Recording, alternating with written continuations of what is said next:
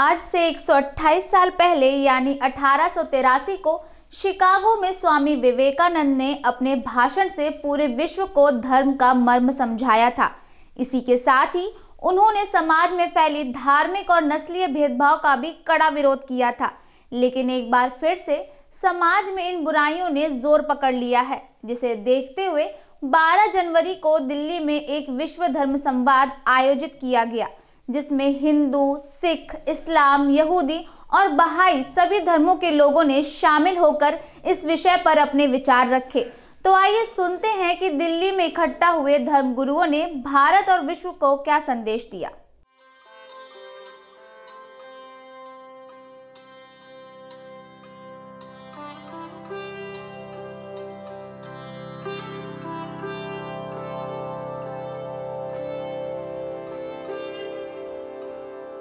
देखिए, जहाँ तक संवाद का ज़िक्र है, जब संवाद की बात होती है तो अनेक प्रश्न मन में यूँ ही उठते हैं कि भाई, संवाद क्यों, क्या कोई विवाद है? उसके लिए संवाद कर रहे हैं। लेकिन इस प्रश्न का उत्तर बहुत विस्तार में हमारे आज के सम्मानित अतिथि देंगे। लेकिन उससे पहले बस मैं एक कहना चाहता हूँ भूमिका के तौर पर कि संवाद भारत की प्राचीन परंपरा है। जीवन के हर प्रश्न का उत्तर पाने के लिए हमने हमेशा से भारतीय समाज में संवाद का ही सहारा लिया है। और चूँकि धर्म हमारे जीवन का आधार है धर्म हम सबके बीच में एक ऐसी कड़ी है जिससे हर मनुष्य जुड़ा हुआ है। इसलिए धर्म पर भी सतत संवाद करना हमारी पुरातन परंपरा का हिस्सा रहा है।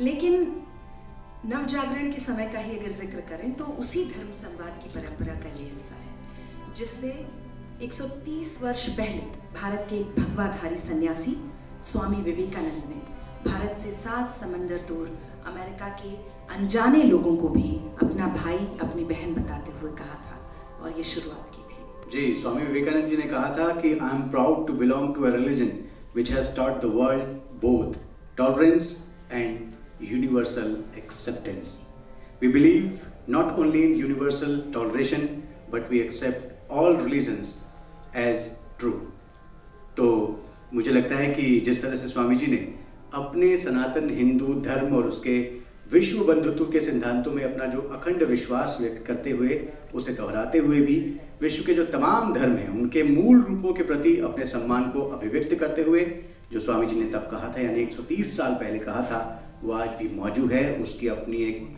जगह है समाज में, और आज फिर उस ऐतिहासिक संवाद को दोहराना इस समय की सबसे बड़ी ज़रूरत है।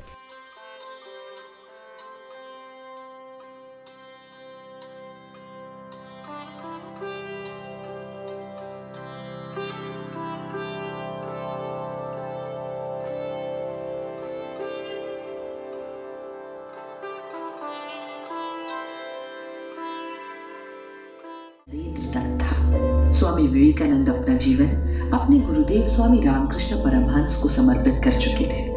25 वर्ष की अवस्था में नरेंद्र ने गेरुआ वस्त्र पहन लिया था। तत्पश्चात उन्होंने पैदल ही पूरे भारत वर्ष की यात्रा की। सन अठारह में अमेरिका के शिकागो में विश्व धर्म परिषद हो रही थी। स्वामी विवेकानंद जी उसमें भारत के प्रतिनिधि के रूप में संपूर्ण भारत और सनातन धर्म का प्रतिनिधित्व कर रहे थे। तब यूरोप और अमेरिका के लोग उस समय पराधीन भारतवासियों को बहुत हीन दृष्टि से देखते थे। वहाँ के लोगों ने बहुत प्रयत्न किया कि स्वामी विवेकानंद को सर्वधर्म परिषद में बोलने का समय ही ना मिले। परंतु एक अमेरिकन प्रोफेसर के प्रयास से उन्हें थोड़ा समय मिला और फिर उनके विचारों को सुनकर सभी विद्वान चकित हो गए।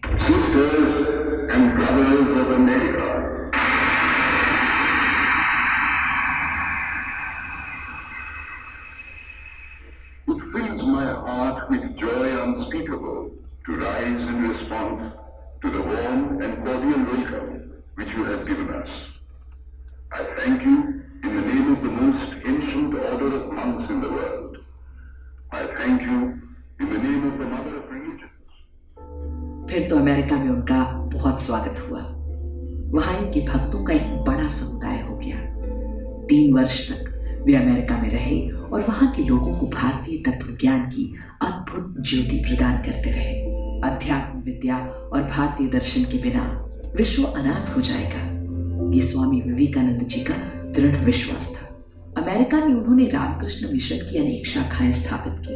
अनेक अमेरिकन विद्वानों ने उनका शिष्यत्व ग्रहण किया। चार जुलाई सन 1902 को उन्होंने देह त्याग किया। वे सदा अपने को गरीबों का सेवक कहते भारत के गौरव को देश देशांतरों में उज्जवल करने का उन्होंने सदा प्रयत्न किया। स्वामी विवेकानंद ने सवा सौ साल पहले दुनिया के लोगों, खासतौर पर धर्म की बात करने वालों से जो उम्मीद लगाई थी क्या वो अब तक पूरी हो सकी है? इस सवाल का जवाब तलाशने और उन अधूरी उम्मीदों को पूरा करने की कोशिश ही स्वामी विवेकानंद के प्रति हमारी सच्ची श्रद्धा की कसौटी है। जो कथनी हम कहते करते हैं कहते हैं उसके अनुसार हम करनी करते हैं। भगवान महावीर को हम सब मानते हैं, लेकिन महावीर की कोई नहीं मानता भगवान राम को सब मानते हैं, लेकिन राम की कोई नहीं मानता है। भगवान बुद्ध को सब मानते हैं, लेकिन बुद्ध की कोई नहीं मानता आज के समय में। इस्लाम को सब मानते हैं, लेकिन अल्लाह ताला की कोई नहीं मानता। आज ईसाई को सभी मानते हैं, लेकिन यीशु की कोई नहीं मानता। सब अपनी मनवाते हैं। इस कारण से संपूर्ण ब्रह्मांड के अंदर यह समस्या पैदा हो गई है। मैत्रिता जिसको जैन दर्शन के अंदर कहा गया कि खामे मी सब जीवे सभ्य जीवा खमन तुम्हें, मित्ति में सब भुए सुवेरा मज्जन के नहीं। मेरा किसी व्यक्ति से किसी जीव मात्र के प्रति क्या है? वैर नहीं है। प्रेम है, करुणा है मैत्री है, अहिंसा जिसको कहा गया। और यही विवेकानंद जी ने भाइयों और बहनों कह करके वसुधैव सुकुटुंबकम की भावना को व्यापक बनाया आज यहाँ हम बैठे हैं। इसी का नाम तो भारत है। आज यहाँ सारे धर्म इकट्ठे होकर एक दूसरे का रिगार्ड करते हैं, एक दूसरे की इज़्ज़त करते हैं, यही तो भारत है। तो हमें अपने भारत को मज़बूत करना है, भारतीयता को मज़बूत करना है। आज जिस स्वामी विवेकानंद जी के जो गुरु जी थे, उनका नाम था स्वामी रामकृष्ण परमहंस जी, आपने पढ़ा होगा, मैंने भी कलकत्ता में गया था, उन्होंने एक मस्जिद का निर्माण किया। और वो मस्जिद में जाकर इबादत करते थे। स्वामी विवेकानंद जी को अगर आप पढ़ेंगे स्वामी विवेकानंद जी भी सभी धर्मों के साथ उनका आ, सभी धर्मों का अगर सम्मान था मस्जिदों में जाते थे अक्सर और समझते थे। तो मैं आज इस मौके पे यही कहना चाहता हूँ कि स्वामी विवेकानंद जी का जो हमने आज यही संकल्प लें कि हम सब के साथ चलें और चूँकि उनकी दृष्टि यही धर्म जो भारत और भारतीयता की थी वसुदेव कुटुंबकम। वसुदेव कुटुंबकम कब होगा? वसुदेव कुटुंबकम तभी होगा जब हम सब एक होकर पूरी दुनिया के अंदर अपनी पहचान भारत और भारतीयता की बनाएँगे। तो मुझे लगता है कि आज ये वक्त ज़रूरत आ गया है। आज 2021 है। नवीन भारत और उत्तम भारत का संकल्प लेकर भारत को विश्व गुरु बनाएँगे। आज हम इसी तरह से सोच लेके उठेंगे और सबका इज़्ज़त करेंगे, सम्मान करेंगे। संसार में जब से ये दुनिया बनी है और जब तक ये दुनिया रहेगी, एक चीज़ की आवश्यकता सदा बनी रहेगी, और वो आवश्यकता है धर्म की। क्योंकि धर्म के बिना सत्ता की अस्तित्व की पहचान ही मिट जाती है। अग्नि का धर्म जलाना है, बर्फ़ का धर्म ठंडक देना है, दिए का, सूर्य का धर्म प्रकाश देना है हवा का धर्म प्राण वायु देना है, धरती का धर्म, जीवन देना है, आकाश का धर्म, व्यापकता देना है। ये ये चीज़ें, इन चीज़ों से चली जाएँ तो आग आग ना रह करके राख बन जाए, पानी जलाने लग जाए, पानी शीतलता की आगोश वाला ना रह करके अग्नि का गोला बन जाए, और धरती भी कुछ और बन जाए, या आकाश भी कुछ और बन जाए। धर्म जो धारण कर लेगा, वो तो जलते हुए दिए की तरह हो जाएगा और अधर्म के कुंड में जो छलांग लग जाएगा, वो बुझे हुए दिए की तरह हो जाएगा। जलता हुआ दिया हज़ार को जलाता है और हज़ार बुझे हुए दिए एक दिए को नहीं जला सकते। ऋषिदानंद जी महाराज ने कहा, जैसे परमेश्वर ने प्रकाश के लिए एक सूर्य बनाया है, प्यास मिटाने के लिए एक पानी है, सांस लेने के लिए एक हवा है रहने के लिए एक धरती है तो सब कुछ तो एक है तो धर्म भी तो एक ही है। तो बोला वो ऐसा कौन सा धर्म है जिसको सारा संसार माने? आप कोई वेद के मंत्र के आधार पे उसकी कोई व्याख्या लिखवाए। तो लिखने वाले मोनियर विलियम थे बताने वाले महर्षि दयानंद जी महाराज थे। तो बोलते सुनना चाहते हो? हाँ, कोई भी विरोधी नहीं हो सकता इस धर्म का। क्या? सत्य अनुकूल न्याय अनुकूल पक्षपात रहित आचरण का नाम धर्म है। सारे धर्म का निचोड़ है। एक ही बात, अपने को जो बात अच्छी ना लगे, वो दूसरे के लिए कभी व्यवहार में ना लानी। Do unto others as you would like to be done with you आपको दूसरे को द्वारा अपमानित होना बुरा लगता है तो आपके हाथों दूसरे को अपमानित होना अच्छा कैसे लगेगा? आपको अपनी माँ बहन बेटी के लिए दूसरे के मुख से शब्द बहुत बुरे लगते हैं तो दूसरे की बहन बेटी के लिए आपके मुख से निकले हुए शब्द कैसे अच्छे लगेंगे? ये तो नहीं हो सकता। इसलिए विश्वदानंद जी महाराज का वाक्य दो। धर्म किसका है? हम सब कौन है? इंसान। इंसानों में आग में से जलाने का गुण निकल जाए तो राख है। इंसानों में से इंसानियत निकल जाए तो मुर्दा है। मुर्दा है मुर्दा।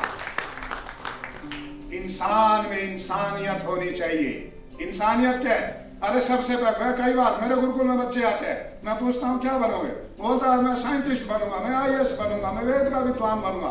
मैंने कहा, तुम मनुष्य का बनोगे? बोले, मनुष्यों की क्या परीक्षा होती है? मैंने कहा, सबसे पहले तो मनुष्य की परीक्षा पास करनी पड़ती है। जो मनुष्य नहीं, वो इंजीनियर भी नहीं। जो मनुष्य नहीं, वो डॉक्टर भी नहीं। जो मनुष्य नहीं, वो विद्वान नहीं। जो मनुष्य नहीं, वो आई भी नहीं।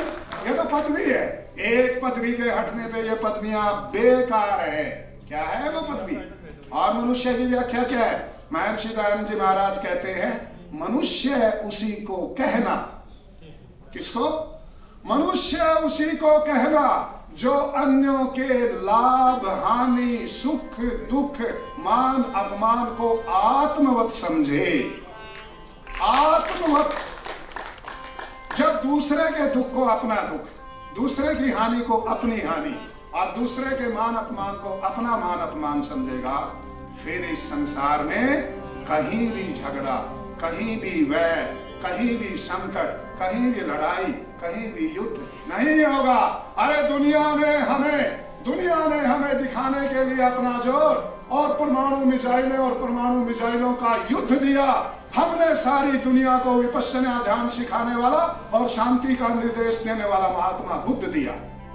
ये भारत की देन है। भारत के ऋषि हिमालय पर्वत पर बैठे होते हैं। दुनिया एक संदेश लेने आती है। किसका? मानवता कभी भी ये नहीं कहा कि हम आपको कुछ और सिखा नहीं नहीं। मानव को मानवता सिखा दो। दानवता हार जाएगी। मानवता से मानवता निकाल दो तो दानवता जीत जाएगी। हमने मानवता सिखानी है, दानवता को हराना है। यही हम सबका लक्ष्य है, यही उद्देश्य है। इन्हीं शब्दों के साथ इस संवाद में सारे धर्म गुरुओं का यही कहना है कि धर्म ग्रंथों की बात तो सब करते हैं, लेकिन उन पर अमल कुछ ही लोग करते हैं। जैसा कि हम सब जानते हैं कि सभी धर्म एकता, भाईचारा और शांति का संदेश देते हैं। ऐसे में किसी भी धर्म पर टिप्पणी करना और नस्लीय भेदभाव फैलाना समाज को कमज़ोर करने जैसा है और इन्हीं बुराइयों को समाज से हटाने और धर्म से लोगों को जोड़ने के लिए इस समारोह का आयोजन किया गया।